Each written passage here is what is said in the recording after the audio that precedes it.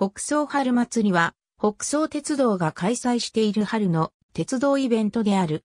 北総開発鉄道時代の1996年に第1回北総春祭りが開催され、以後毎年おおむね3月下旬頃に開催されていたが、2014年より1ヶ月繰り下げて4月下旬頃に開催されている。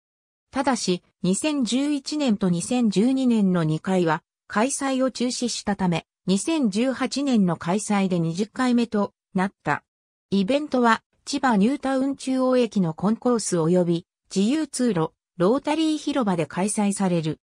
2013年から2017年までは特設ステージの設置され、福岡県を活動拠点としているアイドルグループ、リンクを中心に各アイドルグループや歌手などのゲストを迎えていたが、2018年は特設ステージを廃止するなど規模を縮小した。なお、2019年は北総鉄道開業40周年の節目であった。一方で、この北総春祭りは、初版の事情で開催中止となった。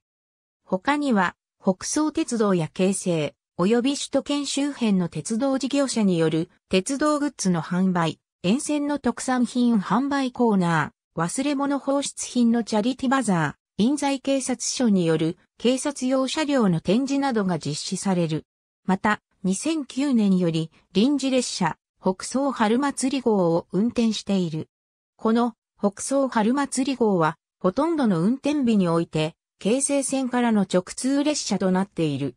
なお、2011年のみ、運転中止となったが、翌2012年は、北総春祭りが中止となったものの、この列車の運転のみ実施している。ありがとうございます。